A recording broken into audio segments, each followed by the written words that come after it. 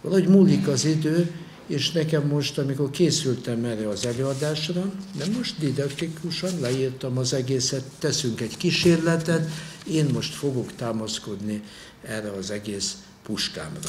Tehát szétesőben a sztálini birodalmi rendszer, még a Gorbacsov időszak legelején és a korábbi eh, vonások, hogy tényleg szétesőben van-e ez a rendszer, vagy volt-e ez a rendszer, vagy nem.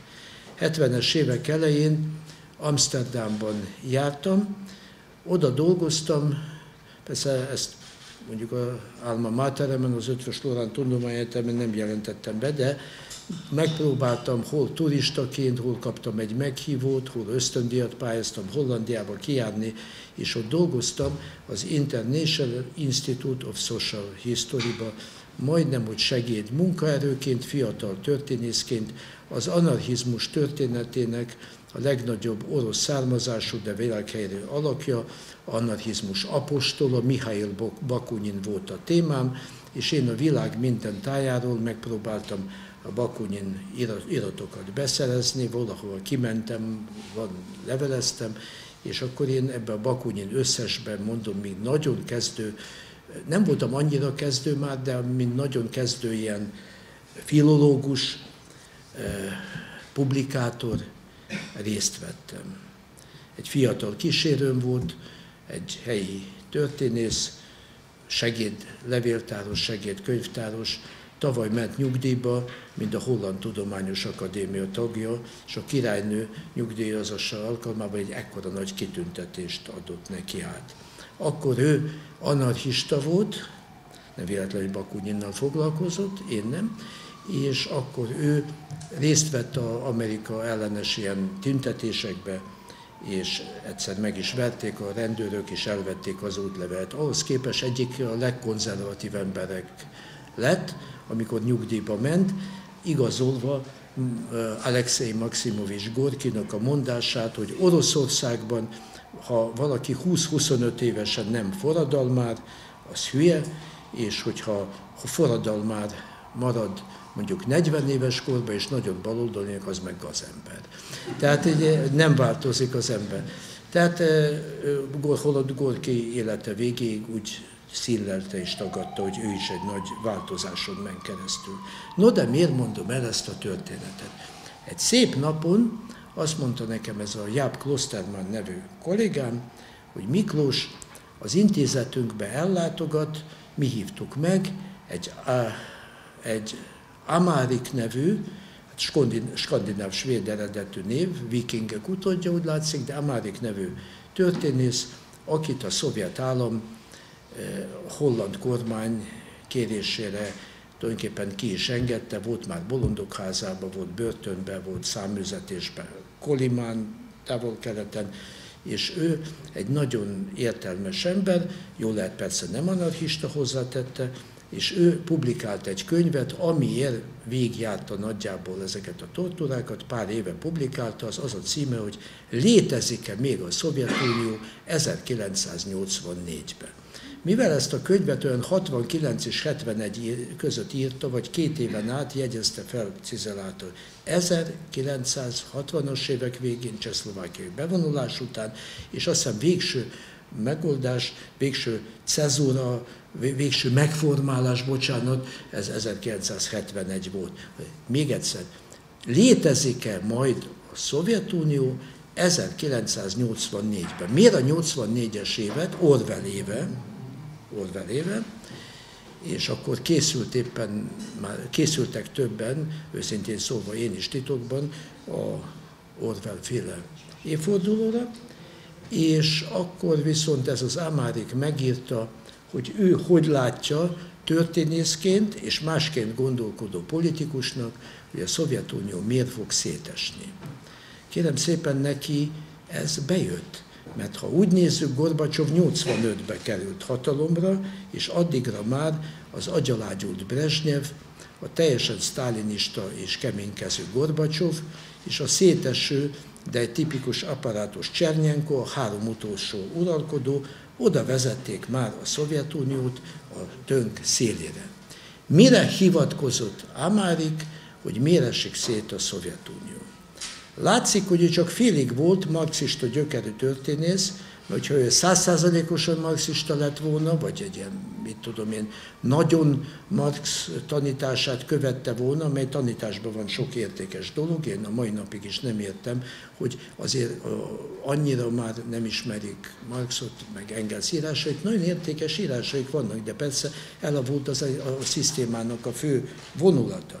De neki, ha Marxot követte volna, azt mondja, hogy gazdaságilag nem bírta, ahogy sokban igaz, hát nem bírta a csillagos háborús tervet, Afganisztán az gazdaságilag, meg az összes fegyverkereskedelem, amely idézőjelben volt csak kereskedelem, többségben ingyen oda kellett, oda kellett adni Jemennek, Északinak, Délinek, Etiópiának, Eritreának, mit tudom én hány országnak, Indiának kevés pénzért, hatalmas hadipari termékeket, stadionokat kellett építeni, és a szovjet, amikor az olajár az 1967-es arab-izraeli háború után így felment, akkor a Szovjetunióból lehetett volna egy hatalmas Kuwait, vagy hatalmas Dubai, vagy Arab Emirátusok, vagy Szaudarábia, de ez a hatalmas pénz arra ment, hogy gabonát vegyenek külföldön, egy olyan ország mondjuk részéről, amely ország ellátta fél Európát és fél világot gabonával a cári időkben, azon belül Ukrajna,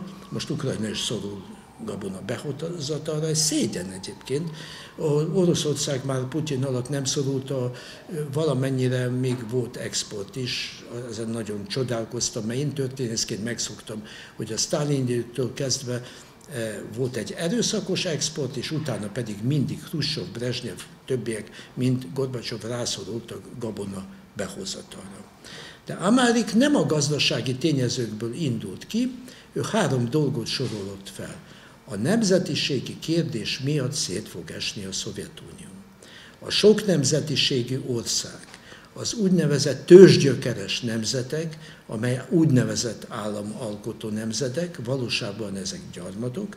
Például Tadzsikisztán hiába papíron határos Afganisztánnal és Iránnal, hiába Tadzsikisztán élén mondjuk egy tadzsik ember áll, de a Tadzsikisztánban a kulcspozíciókat az oroszok töltik be, a párt másodtitkára, a Dusánbé, korábban Stalinabad, garnizon parancsnoka orosz, a határőrség parancsnoka orosz, a KGB ottani lerakatának a parancsnoka orosz, a miniszterelnök tadzsik, de a miniszterelnök első helyettese, akinek csak a pénzügyek, meg csak a gazdaság van alárendelve, az is orosz, vagy ukrán, vagy szláv, és így tovább, és így tovább. Tehát szét fognak esni a nemzetiségek, nyomására szét fog esni a Szovjetunió.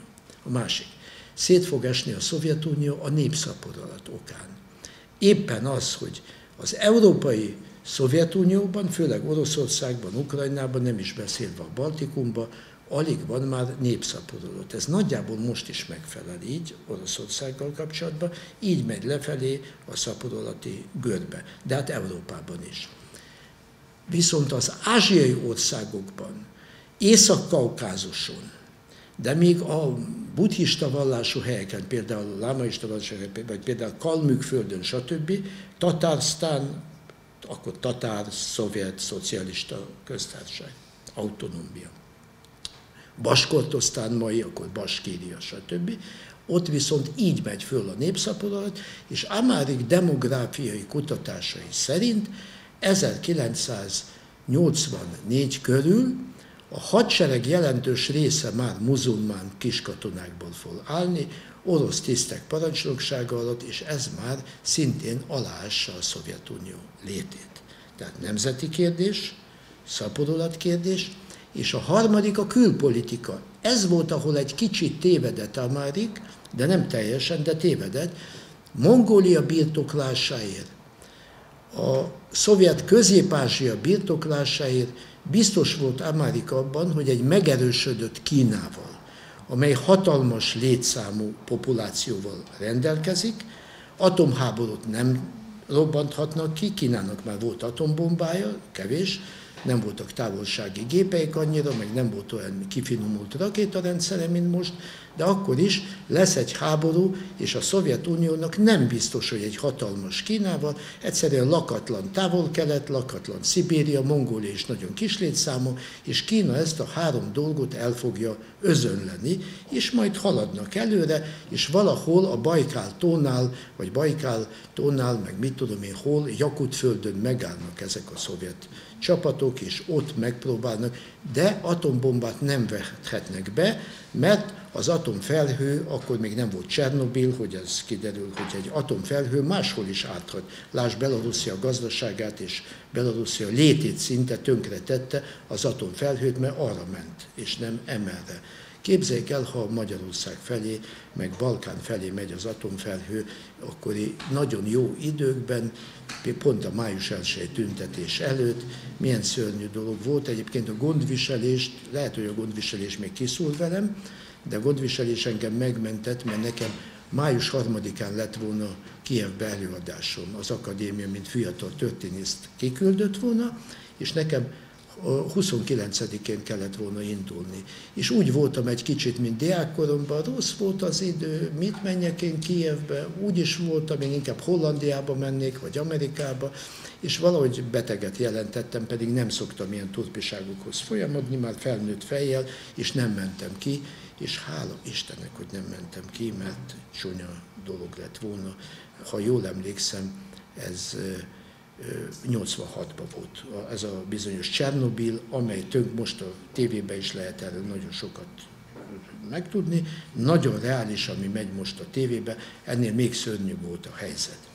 Most mindjárt rátérek Amárikra, tehát Amárik megjósolta ezt a 84-et, és milyen nagy élmény volt nekem még aznap este találkozni egy banketten, Amárikkal, tatár feleségével, aznap reggel jött egy géppel, egy nappal korábban kellett volna neki jönni, elvesztette a jegyét, más ember megőrült volna, hogy a börtön világból, a gulág veszélyéből ő kikerül a szabad világra, de neki volt egy macskája.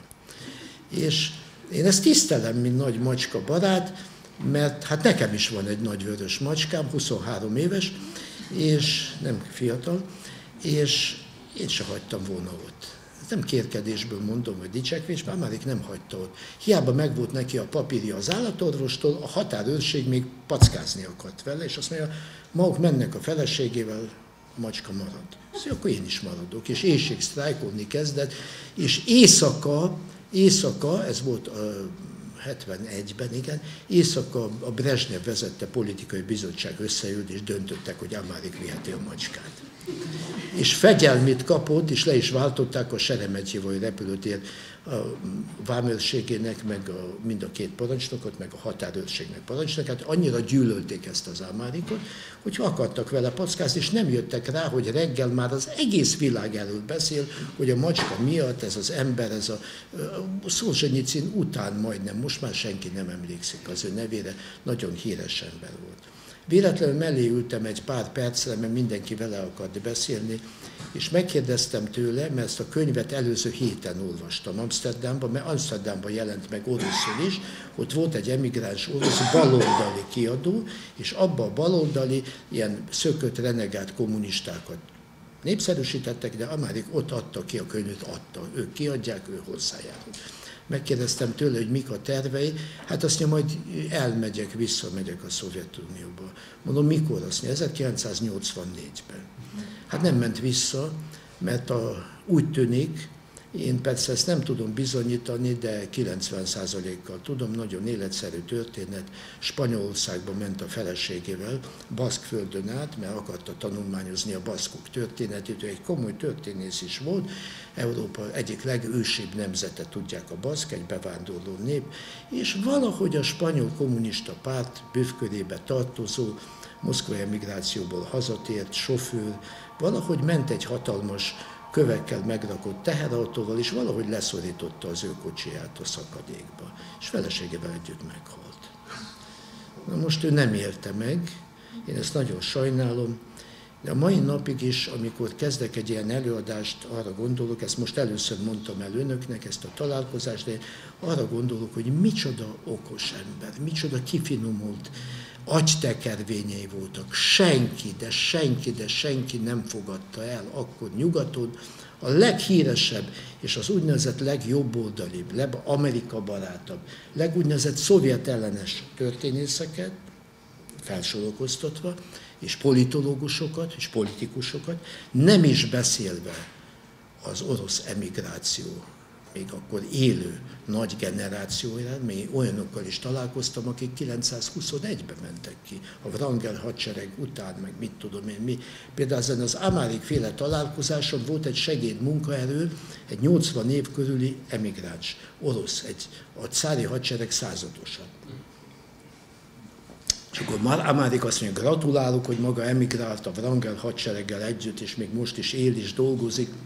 Mit csinál az az intézetben? Azt mondja, Pravdát tanulmányozom, és adatbankot csinálok a Pravda alapján, mondja ez a század. Egyébként mit képzel maga? Miért mond nekem ilyent, hogy én elmenekültem? Én visszavonultam a cári hadsereg utáni fehér orosz hadsereggel együtt. Maga meg biztos egy baloldali ember volt a hazám, de én visszavonultam, mondta ez az ember, akkor hát nevettem. Na most senki nem hitt az Amáriknak. Olyan, például Schulman, az akkori amerikai elnök tanácsadója, aki egyben a Kolumbia Egyetem Egyetem orosz intézetének, russzisztikai, bocsánat, intézetének volt a vezető, egy akkora ledongoló cikket írt, hogy mit képzel ez a fiatal történész. Nem fogsz szétesni. A mi életünkben a Szovjetunió nem fog szétesni. És micsoda dolog az, hogy amikor szétesik nemzetiségi alapon, ahol mindenhol az amerikai államokban nincs olyan nagy dem államok alatt, tehát mit tudom, Pennsylvania, vagy mit tudom én, Texas, vagy valami. Nálunk a nemzetiségek, írja ő, nem rendelkeznek olyan nagy előjogokkal, mint a Szovjetunióban. Nekik saját nemzetiségű minisztereik vannak, meg mit tudom én. 15 köztársaságban. Hát őrület. Még a baltikumi emigránsok sem hittek ebbe. Hiába ott volt a legerősebb az ellenállás, 50-es évek közepéig komoly partizán harc volt a kicsin Észtországban. Izébe, Észtországban, Lettországban és Litvániában. Az ukránok közül egy-két ember írására emlékszem, hogy szét fog esni, de ők sem írták azt, azt mondja, le fog válni Ukrajna, le fog válni Közép-Ázsia, de nagyjából a Kaukázus, a Oroszország és a Baltikum, ez megmarad így egy ilyen szovjet szóna. Ilyenek voltak maximum. Na most 1984, 85-ben jön Gorbacsov, és 86-87-ben már látszott, szétesőben van a Szovjetunió. És pontosan ugyanazok a tényezők, plusz a gazdasági káosz, plusz a hiánygazdaság, plusz a vietnámi háború, amely emésztette, a, kiszívta a nemzetből az energiát, plusz még a hatalmas idióta tévedései elején Gorbacsovnak, mint például az úgynevezett szárazsági törvény, ezt az amerikai szesztilalom törvényel tudom csak össze hasonlítani, azzal a különbség, hogy sokkal szigorúbb volt.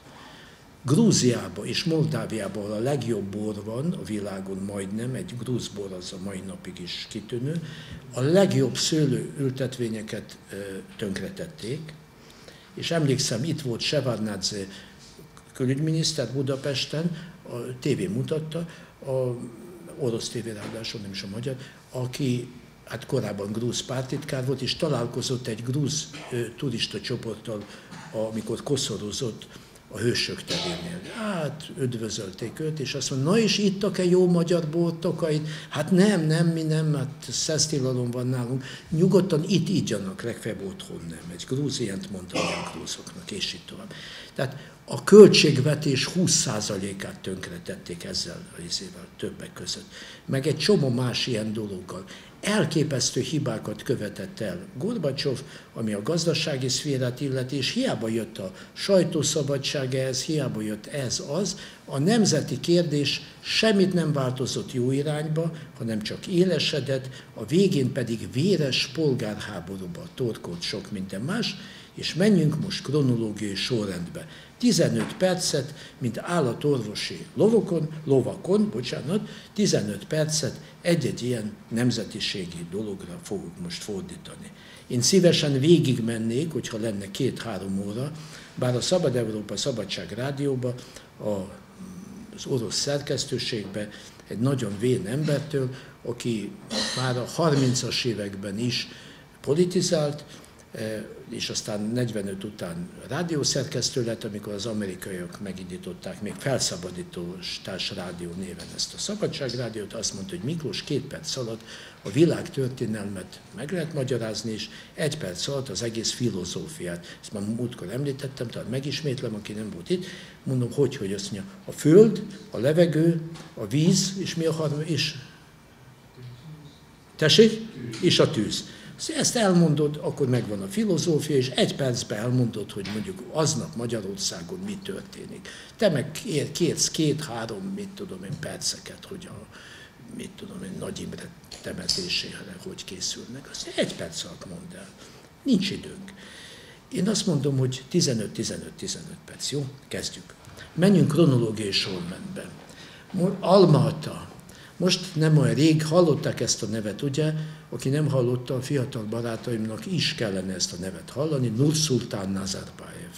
Nazarbayev az utolsó élő szovjet vezető, az utolsó élő pártitkár, akiből kommunista pártitkárból lett gyakorlatilag egy despota, egy diktátor, és róla van elnevezve most Astana, nem Astana annak a neve, hanem Nur kötőjel Szultán. Az ő neve viseli a főváros nevét, tehát Nur-Szultán.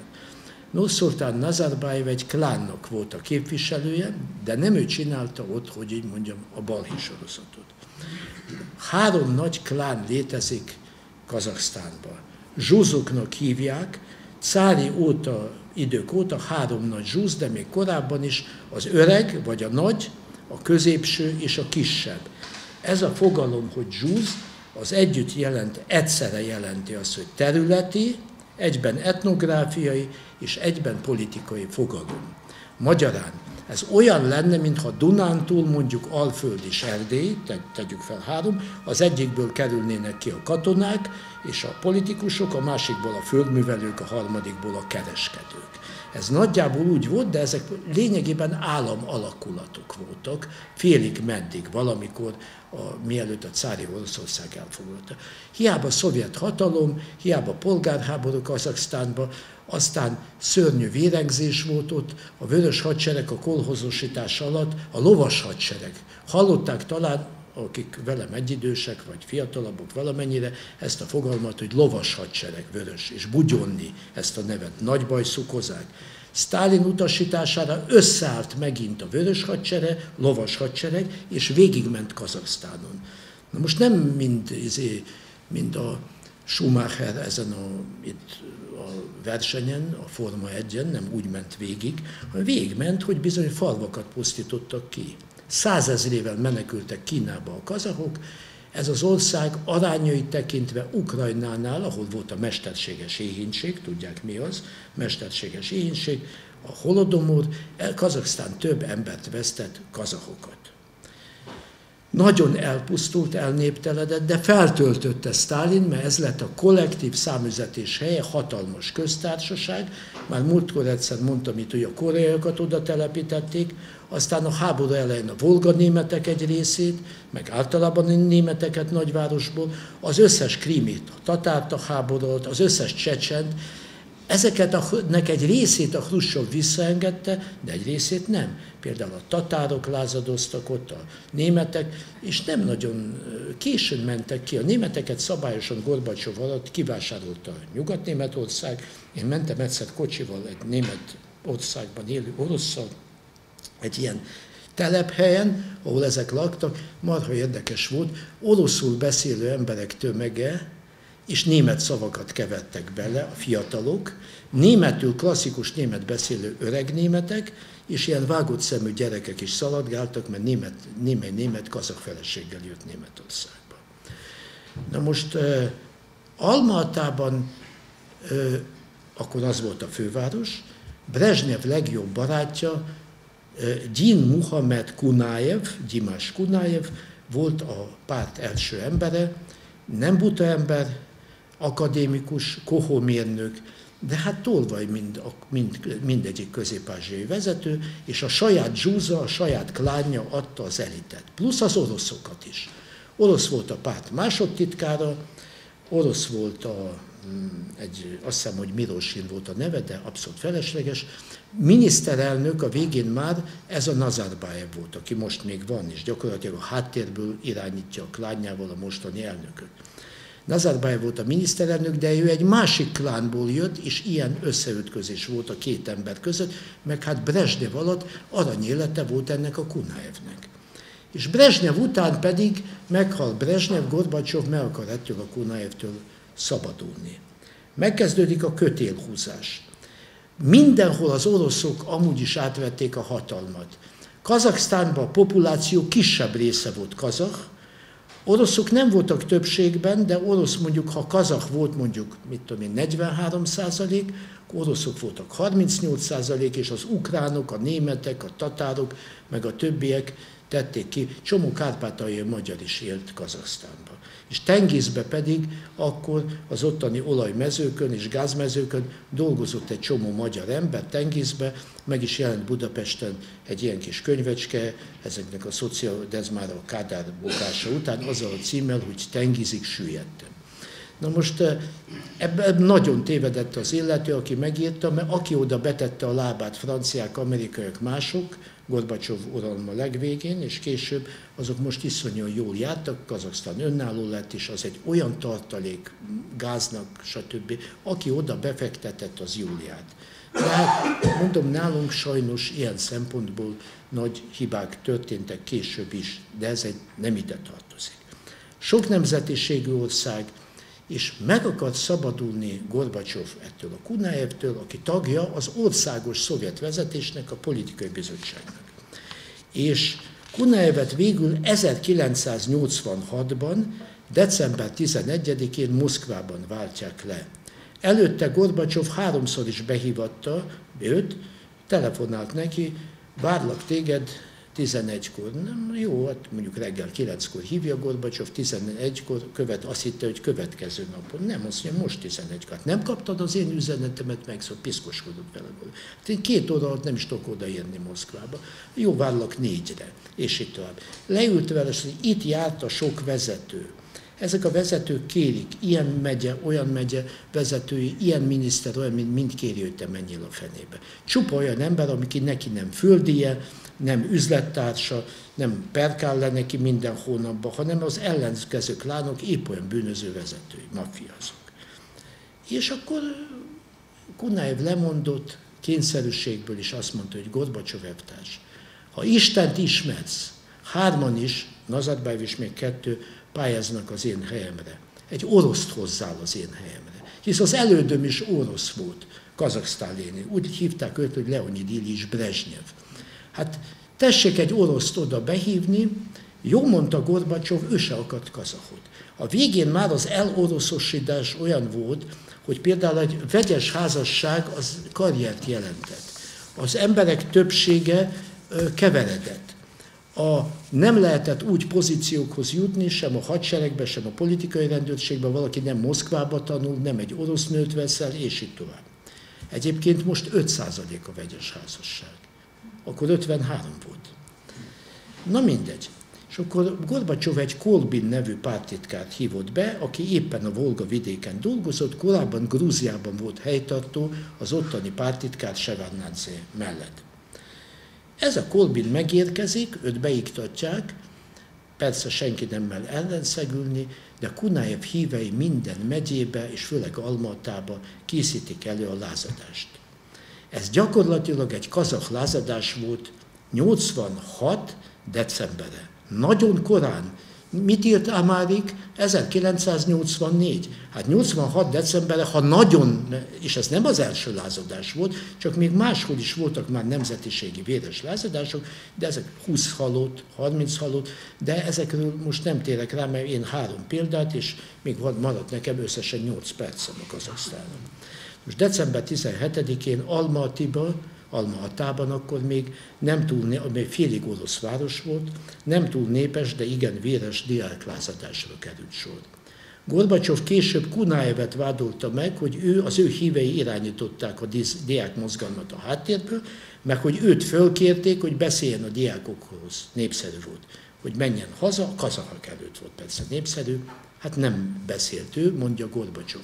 Ez egy akkora hazugság, és nem azért, mert Kunyájev ezt megszáfolta, hanem a Gorbacsov melletti összes többi pártvezető majdnem megírta vagy az emlékiratait, vagy nyilatkozta később, amikor szétesett a Szovjetunió, és azt mondta, hogy szó sincs róla.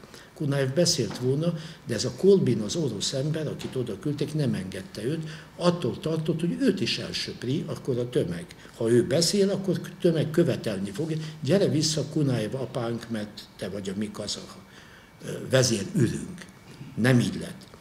Na most az odaérkező moszkvai vezetők, kétségbe esett Kolvint kisegítendő, nem csak a rendőrséget, hanem valamelyikük ezt a hülyeséget mondta, jártam Magyarországra, és ott van munkásőrség. És korábban meg voltak ezek a pofajkások. Nekünk is a munkásokat kell bevetni, a lázadó, nacionalista, drogozó és italozó diákok ellen. Éjszaka 700 embert fél Kazaksztánból, főleg persze a fővárosból, az egész országos elitet sikerült összehozni, fele részt orosz, fele részt kazahukat, és rábeszélni őket, hogy verjék le a lázadást. Eredetileg a kazak vezetők azt mondták, de a helyi oroszok is, hogy nem kell ezeket véresen leverni, mert baj lesz ebből. Na most másnap felállítják az úgynevezett munkás osztagokat, vagy munkás századokat. Ez a moszkvai vezető tényleg járt Budapesten, és ezt elmondta csak úgy ötlenül, nem csak ezért, de csináltak egy kísérletet. Ez többször sikerült egyébként különböző, például Prágában is 68-ban a magyar dolgokra hivatkozva megpróbáltak munkásokhoz fordulni, és így tovább, hogy egy munká, nekik eleve volt is munkásőrségük.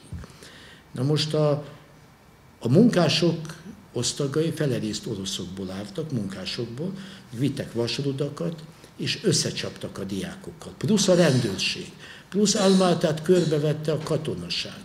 Nem mertek a katonáknak éles fegyvert adni, vagy beélesített kalasnyikovokat, vagy géppisztolyokat, vagy, hanem azt mondták viszont, hogy hozzanak szúrófegyvert is. Rászerelték a puskákra egy ilyen, mit tudom én, egy szuronyt, mindegyiknek kellett, de nem mertek menni, hogy lőjenek a tömegbe. De így is a rendőrök lőttek, mert a diákok tele voltak kővel és vasdon. Nagy építkezés volt, december ellenére a város központban szétszették az építményeket, nagy dorongókkal, stb. Szabályos lázadás. Hányan lehettek kinn a téren? Az alsó nagygyűlésen csak két és fél ezer ember Almátában, utána e, már 5000 ember volt másnap, harmadnap, és a, pály, a kisodorták őket a rendőrök, a, meg a munkásosztalok a főtérről, erre megszállják a pályaudvart. Ez már forradalom. Pár évvel ezelőtt még Nazarbayev, aki azért anyagilag és hát politikailag, geopolitikailag rászorul Moszkvára, még ő sem merte megmondani, mikor kerek évforduló volt, nem merte megmondani, hogy ez egy orosz ellenes forradalom. Ő kiállt most a diákok mellett utólag, ő már akkor is kiállt egy pár év múlva, mert Moszkvába hoztak egy határozatot, hogy kazak nacionalista megnyilvánulás. A Szovjetunió végnapjaiban Nazarbayev fölment Gorbacsovval, és ezt a kifejezést kivetette a határozatból. Tényleg összeomlik a Szovjetunió, mintha olyan fontos, hogy mit mondott a pártvezetés határozatban. Bár Benjamin László nem tudom, persze, hogy a fiatal barátaink, nem bántom magukat, csak mondom, nem tudják ki az a Benjamin László, de ez egy nagy magyar költő volt, már elfelejtették. Van neki egy érdekes című verse, a határozatokra ki emlékszik már. Na most ez egy nemzedéknek szól tulajdonképpen. 1987 elején a bizottság, egy külön moszkvai bizottság kivizsgálja az egészet, Kolbint visszavonják, és Nazarbayevet megteszik Kazaksztán vezetőjével. Moszkva ezt az egész történetet nem fogta föl, hogy ez egy nyitány. Ez egy nyitány a Szovjetunió nem szétesésének, mert voltak korábbi nyitánya. Tulajdonképpen a Kronstadti 1921-es Moszkva, matróz felkelés volt az első nagy nyitány, amikor azt mondták, hogy kommunisták nélküli szovjeteket, és azok a matrózok, akik a 17-es novemberi októberi, én fordulatnak nevezem, van, aki forradalomnak nevezi, van, aki pucsnak, én fordulatnak nevezem, mert rendkívül komplikált és összetett dolog, nagyon népes, a munkások és a frontkatonák jelentős része is benne volt ebbe, de a Pétervár melletti garnizonok, Kronstadt, stb. matrózai döntő szerepet játszottak, és ezek 21-ben már föllázadtak a, annak, a, azon hatalom ellen, amely hatalmat ők hoztak létre. Tehát a nyitány már korábban megvolt. Volt 91-ben egy akkora nagy felkelés Dél-Oroszországban, munkás felkelés Novocserkászban, és itt tovább annyi mindent el tudnék most mondani, Gulágon hatalmas lázadások voltak, de igazából soha, sehol nem volt a Szovjetunióban olyan félelmetes dolog, mint ezek a nemzetiségi vérengzések, amelyek a Szovjetunió szétesését abszolút megindokolták. Na most, tehát mikor volt ez? 86 decemberre és januárban volt a vizsgálat, és utána ezt a orosz kolbint elzavarják. És Nazarbayev lesz. Biztos most is hallanak néha a hírekben olyan kifejezés, hogy hegyi Karabach. Nyilván a híradóban azt is látják olykor, hogy öt évenként háború van Azerbajdzsán és Örményország között. Szabályos háború. Szabályos háború. Most ott is egy robbanás történik. Erre a dolog 1988 februárja eleje. Tehát 87 elején vizsgálat, egy viszonylag nyugodt év, ahol a Baltikumban van nemzetiségi lázadás, de ez egy nagyon kulturált hely, és ott az orosz populáció is egy része el, el akar szakadni a Szovjetuniótól, pláne a két világháború között, Észtország, Lettország és Litvánia, ezek is független államok voltak, és hatalmas partizán háború volt a Baltikumban a háború után, egészen az 50-es évek közepéig, de Ukrajnában is. De nagyon Belorussziában voltak sporadikus partizán háborút. Nagyon érdekes könyvet olvastam most, egy memoát, egy oroszul jól tudó, belorusz, lengyelországi zsidó tisztnek a emlékezése, egészen véletlenül került a kezembe angolul. Ő volt egy ilyen zsidó embermentő, ilyen második világháborút jött létre, Briha nevű csoportnak. Második világháború után őt behívják az illegális zsidó hadsereg ott Palesztinába, hogy észak-orosz gulágokból ki kell hozni a neves zsidó rabbikat. Négy-öt embert, mert ez egy nagyon konzervatív társaság volt, de behívják őt mások, azt mondja, hogy a lengyelországi és a litván szociáldemokrata zsidó vezetőket is ki kell hozni távol-keletről. És akkor két csoport alakítanak, elküldik oda és elküldik oda. Szovjetunión keresztül, háború után távol nem sikerült, északlágerekből igen. Hogyan? Ezek átmentek Lengyelországon az Ármia Krajova, mely abszolútan voltak, leírja azt, hogy olyan antiszemita vezetői voltak azoknak a partizán osztoknak, mindent megtettek nekünk életük kockáztatása alatt. Átvittek Belorussziába. Onnan átvitték Litvániába, ott szereztek szovjet dokumentumokat, tudtak oroszul, stb. És mint szovjet állampolgárok, mint mérnökök, vagy mint leszerelt katonatisztek elmentek egész éjszakra oda Vorkuta felé, stb. a Gulág felé, és kilopták ezeket a rabbikat, és ugyanolyan kalandos úton vissza is hozták őket. Ott már nehezebb volt, mert ezek nem voltak hajlandó megborotválkozni, nem voltak hajlandó normálisan így viselkedni, elkezdtek imádkozni, vagy valami, azt mondja, hogy hát ez valami őrület volt, hogy ez hogy sikerült, de sikerült. És azt mondja, hogy ezek a partizánok gyűlölték egymást, a lengyelek gyűlölték az ukránokat, a beloruszok a litvánokat. De amikor a Moszkváról volt szó, össze kellett nekik olykor tartani. Nem mindig sikerült, mert 46-ban például az ukrán partizánok, vagy a felkelők, vagy a nemzeti hadsereg hatalmas vérfürdőt rendezett Lengyelország területén, a partizán falvakban, és ez a mai nap hatalmas vitát képez a kievi és a varsói kormány között is. És megint csak az Moszkva elleni gyűlölet összetartja őket, hogy ebből a vitából sokkal súlyosabb vita ne legyen. De ez egy külön történet. Most hegyi Karabach az egy 180 ezer fős autonómia volt, Azerbajdzsán területén, hivatalosan 76%-ban örmények lakták, gyakorlatban a 180 ezer emberből 165 ezer örmény lakott ott. Ez valamikor valóban egy azeri kánság volt, valamikor.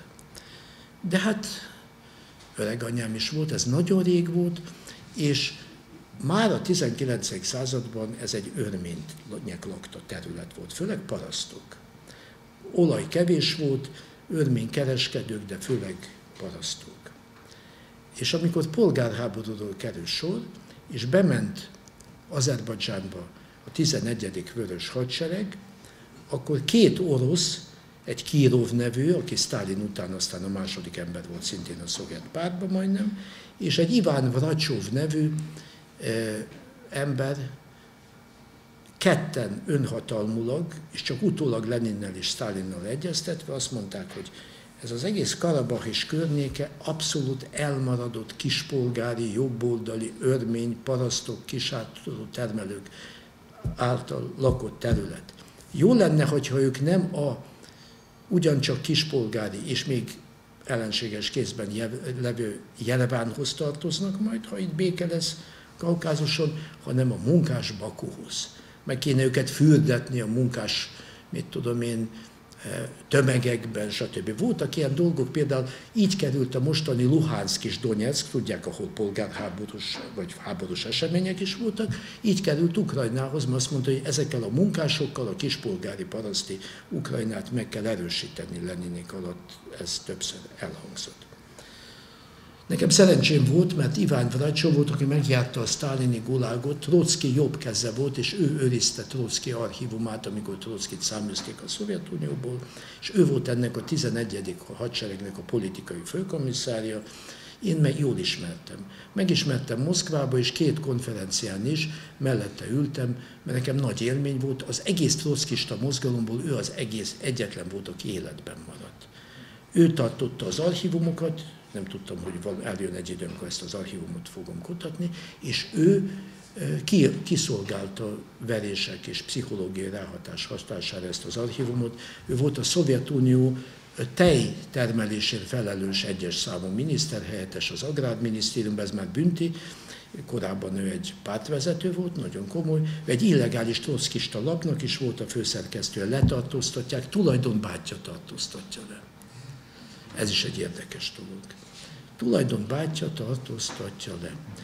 És verik, nem a bátyja, azt mondja szerencsére, utána fiatal felesége volt, elvált, éppen elvett egy fiatal nőt, diáklány, és azt mondták neki, hogy hát neki őt is behozzuk, és majd oda dobjuk a köztörvényes bűnöző nők közé.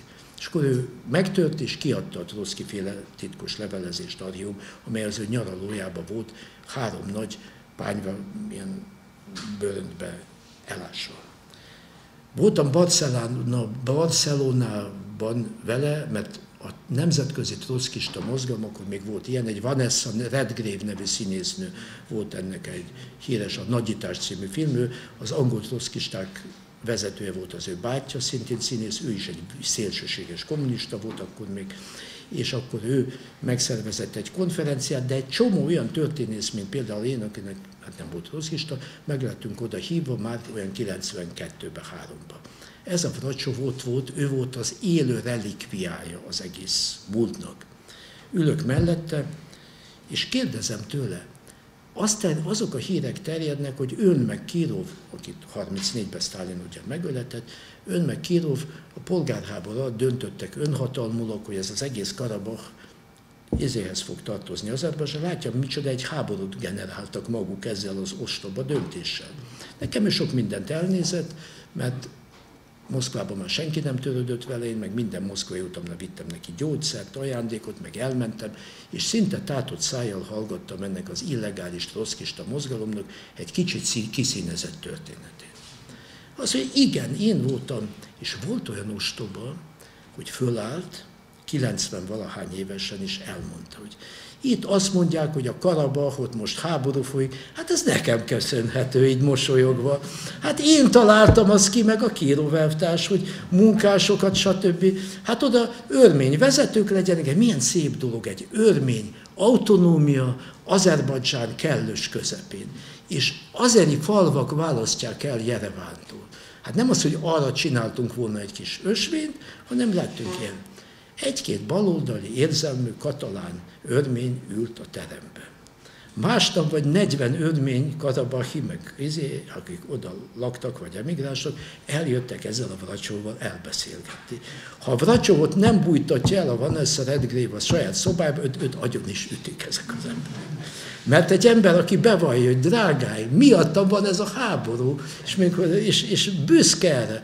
Most, amikor ő ezt Aténban meg akarta ismételni, akkor őt már a konferencia szervező lebeszélték, aztán meghalt a következő 1945-ben és 1956-ban, Stalin mondjuk 45-ben élt, 56-ban már Hrusov volt, akkor elhatározta örmény értelmiség, holott sztálini terror volt, és az örményeket Stalin szívből utálta, mert Tiflis, Tbilisi, ahol ő papneveldébe járt, az félig örményváros volt a cári időszakban.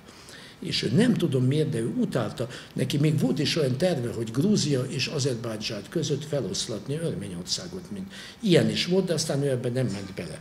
45-ben ő haza akart hozatni gazdag örményeket, meg általában örvényeket nyugaton de az a nagy hajó, többen hazajöttek hajóval, és az a nagy hajó, amit Olaszországtól sikerült Sztálinnak legyőzött Olaszországtól elcsaklizni, valami 800 örménnyel valaki felrobbantotta. És akkor ő elkezdett szabotásra gondolni, stb. Egyébként zárójelben lehet, hogy az olasz korábbi állam némely aktivistája, hadsereg tisztje robbantották fel ezt a hajót. Nekik ez nagyon fájt. A fekete tengeren ráadásul ilyen béka emberek odaúztak és rátettek robbanó anyagot. Török partoknál. Mindegy. De sok örmény hazajött, ezek a hazatérő örmények hiába nem voltak Karabach, elkezdték, 45, ők még felszabadultabbak. Ők most jöttek nyugatról, ki Libanonból, ki Velencéből, ki Franciaországból, és elkezdték bombázni Sztálint levelekkel, hogy kérem szépen Karabach. Stalin szerencséjükre nem törődött ezzel. 56-ban Husov már elkezdett gondolkodni, mit csinálják a Karabachal, de nem akart belemenni, mert Baku azért Baku, Baku az olaj. Khrushchev szemében mit ér ez a koldus szegény Örményország, ahol rendes ásványi anyag sincs, meg mit tudom én, mi szép ország, de hát akkor nem volt még turizmus. Az, hogy ez legősibb keresztény, mit tudom én, ország Grúzia mellett állami vallás tekintve nem érdekelte Khrushchevot, és hát az azeriak pedig azt mondták, hogy szó sincs róla. Az azeri vezetés eh, egyébként Brezsnyevet viszont datálta erősen. Brezsnyev zsebébe hatalmas összegek tűntek el, és Brezsnyev környezete, ő inkább az azeri elittel volt, és nem az örménnyel. Nagyon érdekes, hogy mindkét országban a pártvezetés a többi ország szovjet, szovjet, szovjet szocialista köztársaság, szövetségi köztársaságok közül a örményvezetés és az azeri vezetés nemzetiségileg sokkal erősebben ragaszkodott a saját mondjuk nemzeti gyökerekhez, még a kazahoknál is bőven, nem is beszélve, ott csak a Szovjetunió szétesése után indulnak a muzulmán gyökerek keresése, a múlt feltérképezése, és a pártitkárokból eh, Mekkába elzarándokoló emberek lettek, stb. És, és a Aliyev, a mostani elnök apja, eh, Geidár, eh, tehát Aliyev megváltoztatja a nevét Ilhám, nem, megvált, nem megváltoztatja a nevét Heliár Alievre, hogy sokkal ilyen nemzetibb, meg vallásibb legyen a neve, utána. Ez egy nagyon érdekes történet.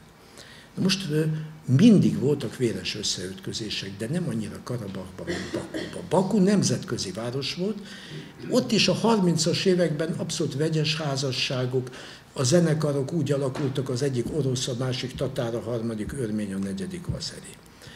Moszkvában együtt tanultak pártiskolákon, de a 50-es évek második felétől főleg Baku mellett egy Sztyepánakert nevű városban, vagy egy eh, Szungait nevű városban, és Sztyepánakertben, eh, eh, Karabach fővárosában már vannak pogromok. És 1988, de ezek kisebb pogromok is a helyi rendőrség eliminálja 1988. február 13-án Sztyetpanokertbe nagygyűlés, és a nagygyűlés elsöpri gyakorlatilag a helyi pártitkárok, mondjuk köz, középső ilyen kerületi pártitkárok, gyári pártitkárok rétegét, ezek bakúi, azeri bérencek a lakosság szemében, és a helyi szovjet, lefordítva magyar a tanács, mai szóval önkormányzat, tehát a helyi kerületi szovjet tanács gyakorlatilag átveszi, nagyon érdekes dolog, a pártvezetéstől az irányítást. Ők ennek a hatalmas nagygyűlésnek a gazdái.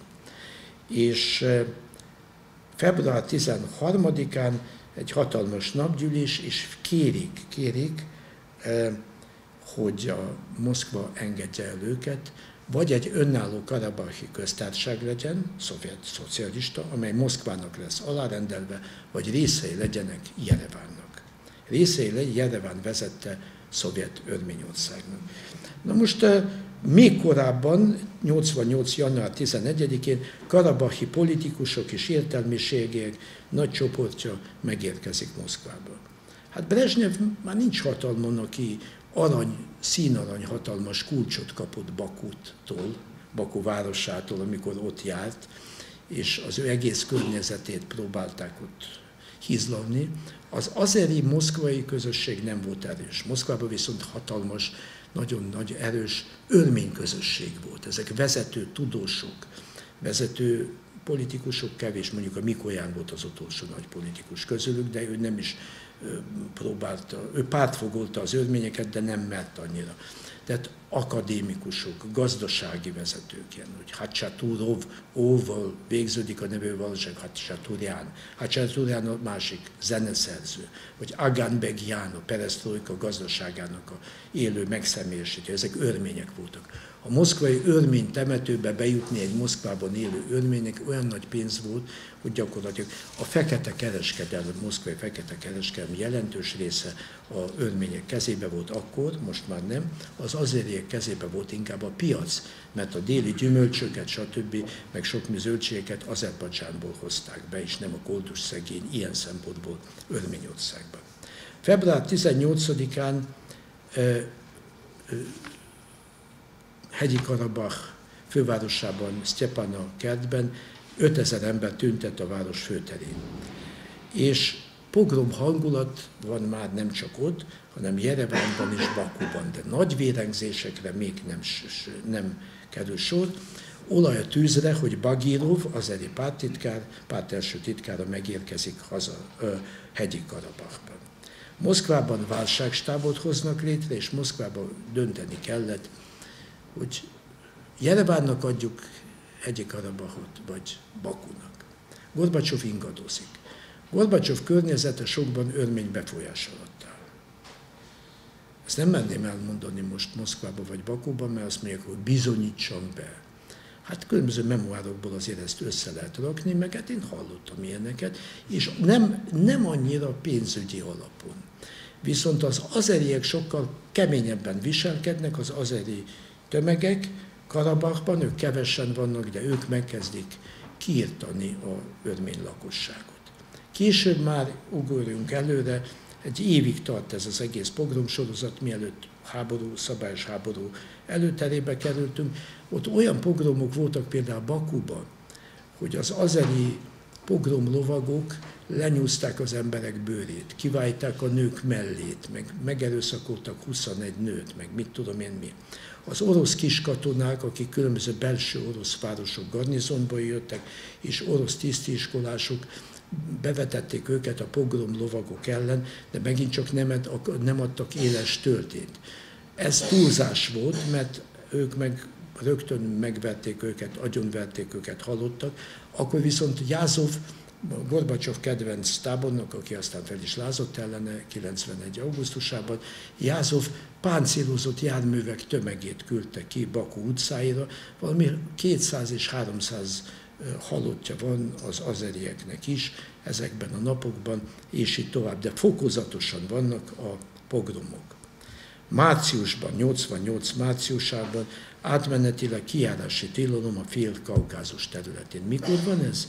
88 márciusában. Mit írt Amárik, amikor én a macska miatt meg, meg is simogattam azt a macskát, láttam a macskával együtt ott az International Institute of Social History szerény kantinjában ezen a fogadáson. Mikor volt ez? 71-ben megírta, hogy 84-ben szét fog esni a Szovjetunió, vagy legalábbis megkezdődik, óvatos volt a szétesési folyamat végső stádiumában. 88 márciusában ez már szétesési folyamat amikor a fél Bakuból elmenekül a 250 ezeres örmény populációnak több mint a fele, amikor nőket becselnik meg, stb. Na, akkor beszáll már ebbe Jereván is és egy év múlva még már háborús események van a két ország határon, és egészen előre, mert szétesik a Szovjetunió, akkor már egy komoly háború van ott, és ezeket az örmény hadsereg, amely sokkal erősebbnek bizonyul akkor még, mint a e, azeri hadsereg, hát milyen hadseregek, nem volt önálló hadseregük korábban, de érdekes, az örmények nagyon jó katonáknak bizonyultak. Olyan gúny tárgya volt, egy kis orosz vidéki városban laktunk, ott volt egy pár örmény. Ezeket úgy gúnyolták, hát nem is részletezem, hogy milyen jelzőket mondtak róluk. Ezek általában kereskedők voltak, ezek általában helyi szaunákat működtették, de nem önálló emberek, mind alkalmazottak. Ezek általában sefteltek, ezek a piacon működtek, hát lenézte őket a félváros is, nem csak az egyszerű populáció. Mert a grúzok azok legalább hoztak húst, hoztak zöldséget, gyümölcsök, 50-es évek közepén elején vagyunk. És örmények, hát ezek senkik. Olyan jó katonáknak bizonyultak, hogy kiverték az azeriakat. Az azeriak lakta falvakból, az úgynevezett Lucsinyi szorosból, és akkor Egyesült Karabach területileg, most is együtt van, Örményországgal az a különbség, hogy Karabach papíron kikiáltották a saját köztársaságokat, stb. De akkor már nem volt Szovjetunió.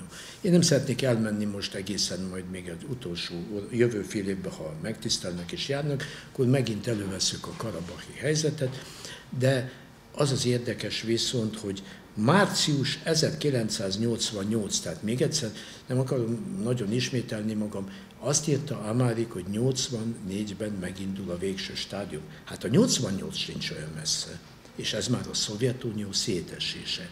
Ez már egy véres polgárháborús esemény.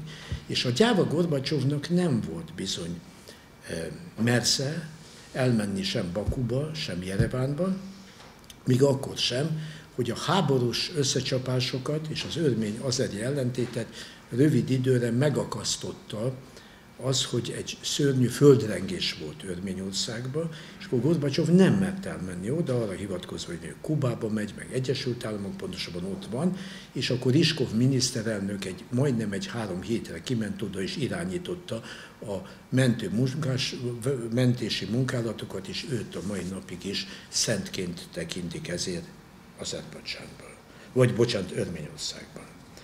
És nagyon érdekes viszont, amikor kitört ez az egész karabahi konfliktus, mit mondott Gorbacsov tisztára a szovjet ember, azt mondja, nyilván kívülről irányítják ezt, bár ő inkább az örmények oldalán volt, inkább kívülről irányítják egész Örményország területén, meg a fél-kaukázus területén a akkor már voltak mobiltelefonok, meg általában a telefonhálózat, ilyen nagy, ormotlan, ha emlékeznek, ilyen mobiltelefonok voltak, és azt mondta akkor a de nem ilyen kicsik, azt mondta Gorbacsov, hogy el kell vágni a vonalakat a telefonban. Nyilván örményeket innen Törökországból, meg az azerieket, meg Iránból irányítják. Nem kellett ehhez irányítani, ez a sztálini Szovjetunió kell, hogy körzővel és vonalzóval, meg a korábbi Lenini, de főleg a sztálini Szovjetunióban osztottak észt, és úgy osztottak észt, hogy húzták körzeti, körzővel vonalzókat a határokat. Stalin soha nem járt Közép-Ázsiába, és úgy húzta meg az öt köztársaság határát a végén, hogy ő soha nem járt ott, de vett és húzott egy vonalat tisztára úgy, mint az angol és a francia gyarmatosítók a 19. század utolsó éveiben Afrikát. Megnézik a mostani afrikai határokat, hogy milyen vonalak vannak ott, hát ez micsoda dolog. Na most a válság egészen 1989-ig elhúzódik akkor a bakúi vérengzések centruma, és akkor már az örmények is gyakorlatilag kipenderítik Jerevánba az azeriek jelentős részét, de az azeri menekülési hullám olyan erős, hogy ők Tbilisi-ből is elmennek, és gyakorlatilag háromnegyed millió, egyesek szerint egy millió ember akkor lakik nagyon szörnyű körülmények között, iskolákban, sátrakban, Bakuban, meg máshol, most ezeknek mind van lakásuk, és a munkaerőt is képezik ők, de persze a karabahi kérdés a mai napig nincs rendezve. Na most, mivel nekem még van hat percem, ha még egy olyan, még hattal megtolthatom, akkor elmondom a harmadikat. Grúzia, Grúzia leválása vérengzés által. Az újabb vérfürdőre, tehát Kazaksztán, Örményország és Azerbajdzsán, az újabb vérfürdőre Georgia. Nekem külön szóltak most, a tévében és a rádióban mind a két helyen, hogy én mindig Grúziát mondok. Az a baj, hogy én már megszoktam ezt, hogy Grúzia, de így kéne mondani hivatalosan, hogy Georgia. Hogy Kirgisztán sem mondok, sokszor mondom, hogy Kirgizia. Úgy látszik, nekem még kéne élni egy pár évig, én megpróbálok legalábbis, hogy ezeket megjegyezzem. Tatarsztán, Baskortosztán, én mindig Baskíriát tanultam, de hát ez mindegy. De nyugaton is semmilyen Tatarsztán nem volt régebben, de most már van az angol száz szakirodalomban is, a németben nem annyira. Most előzmények. Grúzia önálló volt a 20-as években, ott a legtöbb, leghosszabb ideig Kaukázuson tartott a nem szovjet kormány, mensevikek voltak, grúz mensevikek. És Uralmon, ott is voltak lázadások, nehogy azt gondolják, hogy Stalin pártfogolta volna a grúzokat. Stalin gyűlölte a véreit, ezt úgy hívják, hogy öngyűlölet, Stalin gyűlölte a grúz értelmiséget és a grúz pártaparátust, ezeknek érdekesen a grúz, például ez az Iván Vracsov mennyit mesélt nekem, hogy a Trotsky féle illegális Szovjetunió beli hálózatnak a magvát, az erősségét a grúz kommunisták, grúz bolsevikok képezték. Azok gyűlölték Sztálint és senki házinak. Kintónak becézték, ami csavargót jelent, és itt tovább. Na most arányat tekintve Sztálin a legtöbb embert a pártvezetésből és az értelmiségből Grúziából írtott ki, arányait. Ha össz, megnézzük a grúz összlakosságot, ahhoz képest, abszolút számokban persze az oroszok, tényleg ők a leginkább szenvedő náció, utána az ukránok, utána a baltikumiak, ott volt polgárháború, stb. A grúzok körülbelül olyan 8.-9. helyen, abszolút számban, de relatív számban, tehát arányai tekintve a grúzok. Na most annyiban azért nem vagyok igazságos, hogy Grúziának sztálini uralom alatt volt egy privilegizált gazdasághelyzete.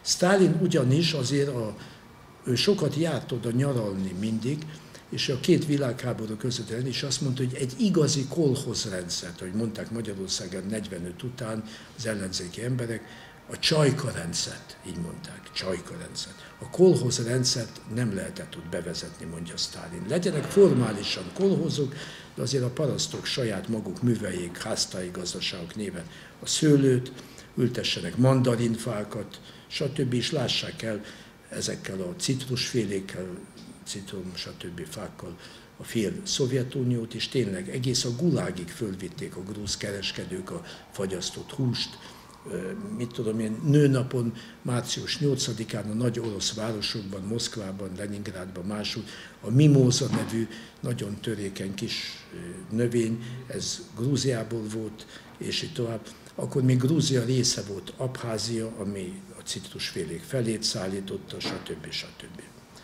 Na most a Grúziában egy nagyon korai lázadás volt, 1956 márciusában.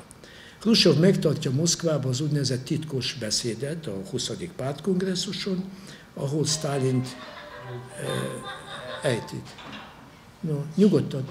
És miután e, Grúziába megérkezik ennek a híre, és hiába írtotta ki Sztálin a grúz értelmiséget, a pártaparátust és a grúz parasztok egy részét, igaz, hogy korábban, a 30-as évek elején a balti tengert a fehér tengerrel, vagyis az északi jeges tengerrel összekötött csatorna építkezésekre küldtek, ahol azok meghaltak mind a legyek. Nem véletlenül nagyon sok grúz a második világháború után, alatt átállt a németekhez ahogy nagyon sok örmény is, és nagyon sok azeri is, ezek német fogságban is nagyon gyűlölték egymást, és három légiót is csináltak Goebbels ötletére a németek, és csináltak egy, hat, egy elég népes közép légiót, igaz, hogy oda az összes, aki átállt a kollaborált, az összes ilyen, mit tudom én, üzbéket, stb. beterelték. Egyébként a németek Nogdak szó, a németek csináltak egy indiai légiót és egy arab légiót is kisebbeket, és amikor a Jeruzsálemi mufti megérkezett és Hitler fogadja őt, akkor úgy volt, hogy ha ők majd, majd a Rommel újra megjelenik ott a közel-keleten, akkor mit tudom én, Hitler lesz a összes lázadó angol ellenes araboknak a szentje, vagy védőszentje, stb. mondta a mufti. Mindegy. Na most 56-ban furcsa volt, hogy márciusban föllázadtak Tbilisibe, oda egy kínai küldöttség érkezett Csudé Marshall vezetésével, ott voltak a 20. pártkongresszuson, és egy körútot csináltak, és pont ott voltak, és szabályosan föllázadtak, hogy miért nyúltak hozzá a Stálinhoz. Disznó Hrusov, mondjál le, alakuljon meg a Molotov kormány, de ilyenek voltak, Csute Marshall mond meg, hogy ők ezeknek nincs igazuk, de plusz még jöttek egy csomó ilyen nemzeti követeléssel, tehát részben volt egy sztálinista, de nem úgy sztálinista, hogy mondjam ezt jobban, nem szektás kommunisták voltak ezek, csak Sztálint, a grúzi nép nagy fiát, hogy merte ez a disznó Hrusov, mit tudom én mi, hozzányúlni.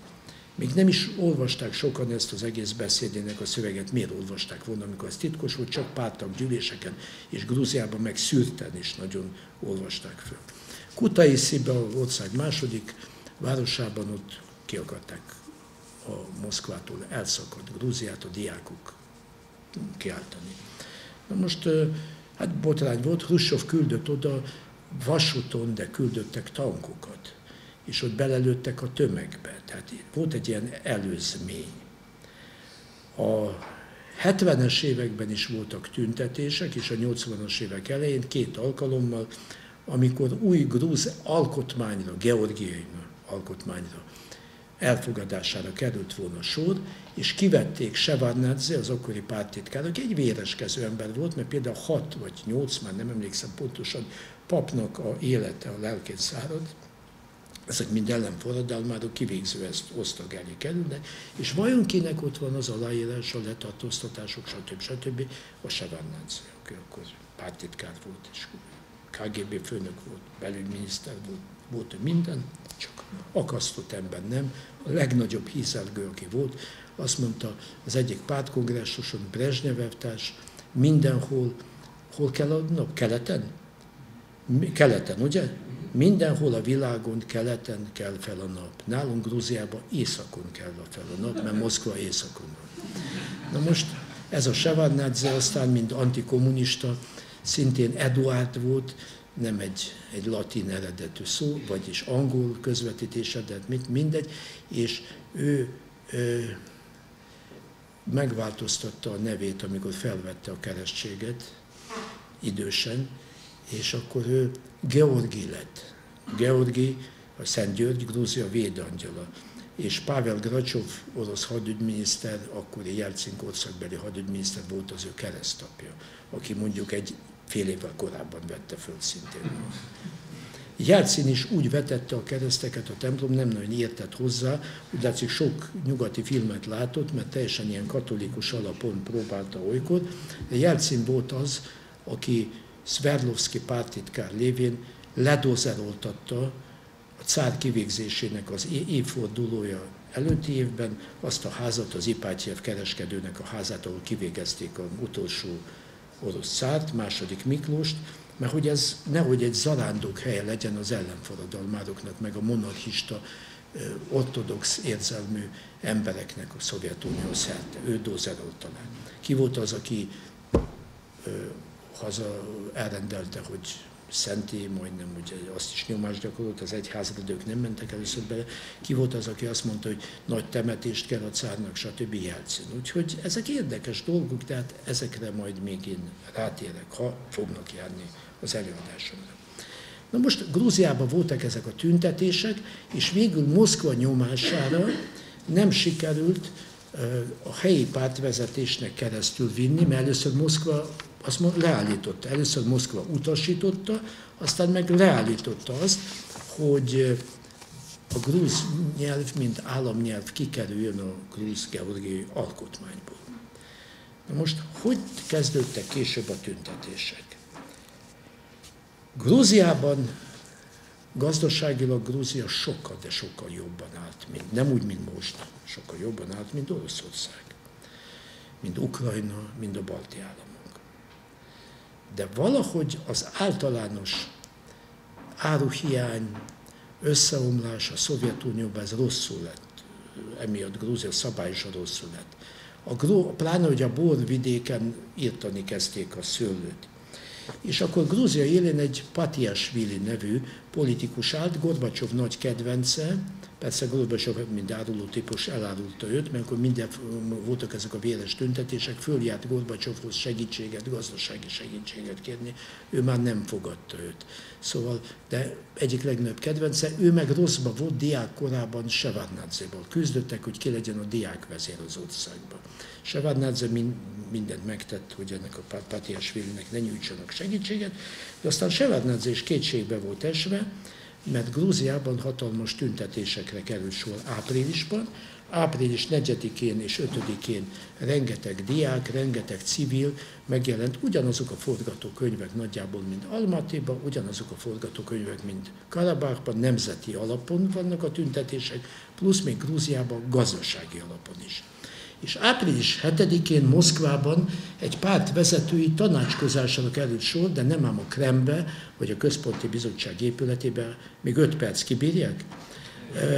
Április 7-én Vnukovóban, Vnukovo 2-ben, ez egy ilyen zárt kormányhely, elkerített, fél ezred őrizte szerintem, Gorbacsov megjött Londonból. Oda hivatta a pártvezetést, és ott hoztak egy döntést, és Gorbacsov nem csak a párt első embere volt, hanem Gorbacsov a szovjet hadsereg főparancsnoka volt.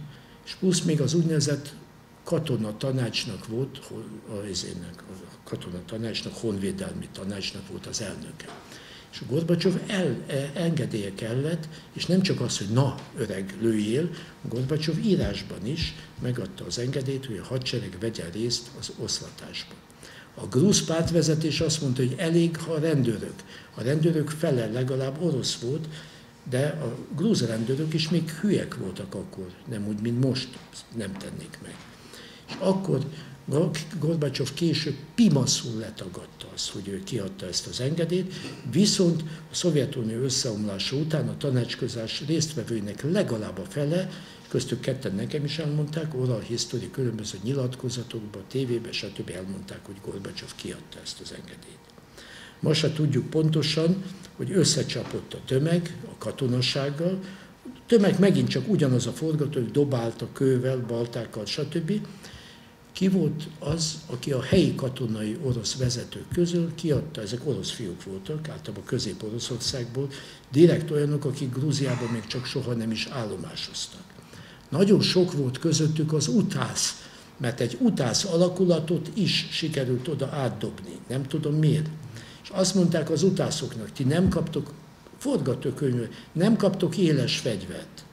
Viszont vigyétek el a kis lapátokat. Miért? Mert azt ki lehet élesíteni este előző nap. És ha ezek támadnak kővel, baltával, bottal, verjéket őket, ezek a huligán, alkoholista, részeges, narkos férfiakat, verjétek a lapáttal. Hát ők nem vertek, hanem szúrtak. És este, amikor kitették a halottakat, és a rengeteg sebesült ott lézengett a téren, több mint 600-an voltak összesen. A többiek bementek a kórházakba, egyik forrás szerint 12 nő feküdt egymás mellett, és két gyerek, más források szerint egy férfi azért szintén feküdt. A tömeg direkt, nem direkt, a tömeg élén a nők jöttek. Mert azt hitték fekete gyászruhás nők, hogy nem fognak lőni, mert azt hitték, hogy lőni fognak, de egy nőbe ki az a, pláne a grúz rendőrök, meg a grúz katonák egy asszonyba soha nem lőnek. Azt hitték. De ezek az orosz utászfiúk így mentek rohamra, mintha egy szurony lenne a kezükből, és így ütötték a agyon az embereket, és csupa vágott sem. Na most 76 katona és rendőr is súlyosan megsebesült, az tény. Tehát máig nem tudjuk pontosan sem a létszámot, sem pedig, de ez olyan mindegy. Én egyszer ültem egy amerikai történész mellett levéltárban Moszkvában, és majdnem megvettem őt, amikor azt mondta, hogy hát a grúz mesterség, a ukrán mesterséges éhínség, hát azt mondja, nem is igaz, amit Kievbe írnak, hogy 7 millió ember, abból 5, 3 millió gyerek, egyébként zárójában most túlzásban mennek Ukrajnában, már de 11-ről, meg 13-ról beszélnek, hát annyi nem lehetett technikailag sem. De az tény, hogy a különböző népszámlálásokból ki lehet következtetni, meg az, hogy milyen falvak nem léteztek, aztán, hogy ukrán volt a falu neve, ukrán volt a lanka, a utcanév, de ukrán egy sem maradt abba. Tehát, hogy hányan pusztultak el a mesterséges sztáliénség alatt, ki lehet számolni. Hát lehet, hogy nem hét volt, hanem hat. Lehet, hogy öt, nem hiszem, hogy de azt mondja, mi ez? Azt mondja, csak négyen pusztultak, négy millió. És az nem elég mesterségesen elpusztítani. Mondom, majdnem megvettem. Azt mondja, hát miért azt mondja, a cári időkben is volt rossz időjárás, éhínség, és elpusztult két-három millió paraszt Volga vidéken, meg Moszkva mellett. Mondom, ez igaz, te szerencsétlen, hülye mondom neki angolul. Hát ez igaz, de a cári időkben megnyitották a földesurak a magtárakat. Az állam segítette, nem elvette, hanem az éhezőket segítette. És Csehov, a nagy orosz író, mint orvos, elment mint orvos kezelni a haldokló embereket, és osztogatta a rubeleket. És Tolstoy etette a Jásznája Polerna nevű birtokon, a másik nagy író, Tolstoy etette az embereket, az egész éhező embereket a környező falvakban. Hát ez nem ugyanaz, amikor egy karhatalmi egység körülvesz egy falut, és addig, amíg az utolsó ember nem legeli le onnan az utolsó levelet, és nem hal, és kanibalizmus nincs, és egy megőrült anya föltrancsírozza a halott gyereket a többieknek, mondom, hát nem volt, nem azt mondja, hát Dél-Amerikában is mennyi a halott olykor, meg minden. Szóval én nem értem ezeket a, most nem akarom azt mondani, hogy liberális amerikai történészeket, de egy párral találkoztam, hát ez valami borzasztó volt. Na most erre a grúz izére is mondták egy páran, akkor Hát ez nem is 16 halott, meg ha sebesült, hát nálunk a rendőrség, ha összecsap, szintén vannak sebesülők. Nem ugyanaz. Nem ugyanaz, amikor kis katonák így mennek izébe, rohamra. 1989-ben, ez április 7-én volt, május 30-án Moszkvában megalakul a Szovjetunió nép, szovjet népképviselők első kongresszusa, a legfelsőbb szovjet helyére lépett. Ezen a kongresszuson azonnal hoztak létre, azonnal be is vezem már, egy bizottságot kivizsgálandó. Akkor Gorbacsov föllépett, mindenkivel először nagyon elítélte a történeteket. Hatalmas tapsot kapott, főleg a grúzok tapsoltak, de az oroszok egy része is. Száharov akadémikus, aki megjött számüzetésből, mások nagyon tapsoltak neki. És egyszerűen csak megdermett a levegő, mindent a hadseregre tolt. Ha nincs hadsereg, most a teremben jó pár képviselő volt, akik katonak képviselők, hát nem közkatonák, de tábornokok, stb. Föl voltak háborodva. Azért ő adta ki a parancsot. Ő vetette be a hadsereget. Más kérdés, hogy biztos, hogy voltak helyi parancsnokok, akik hibáztak. Fölállt Rodionov tábornok, aki Jelcin alatt rövid ideig honvédelmi miniszter volt, fölállt, és ő volt ennek a nagyobb egységnek a izét, és tételesen elkezdte bizonygatni, hogy soha nem ment volna el a tömegnek, de megkapta a parancsot Moszkvából, Gorbacsov is benne volt, mások is benne voltak, és persze ő, mint hithű szovjet ember, kénytelen volt védekezni, és azt mondta, hogy ez provokáció volt, Bilisi összecsapásokról, hogy szovjet ellenes, államellenes, orosz ellenes, grúzbarát és nacionalista töltésű volt ez az összecsapás. A jelszavak tényleg azok voltak, de a tragédia az megmutatta, hogy egy ilyen tüntetés után Grúzia ki fog menni az akolból, holott ez neki egy óriási gazdasági érvágás lett volna, de ő önálló, a grúzok önállóak akarnak lenni. Szóval nagyjából utoljára megmondom, és Isten bizony ezt a nevet nem fogom már önök előtt, de bár lehet, hogy majd idézek legközebb, André Amárik, megvan magyarul. Létezik-e majd a Szovjetunió, írják fel, aki kíváncsi, kiveszi esetleg könyvtárból, interneten megnézi, interneten is azt hiszem rajta van, Andrei Amárik, létezik-e még a Szovjetunió 1984-ben? 84-ben létezett, később már pár év múlva is nem. Köszönöm szépen!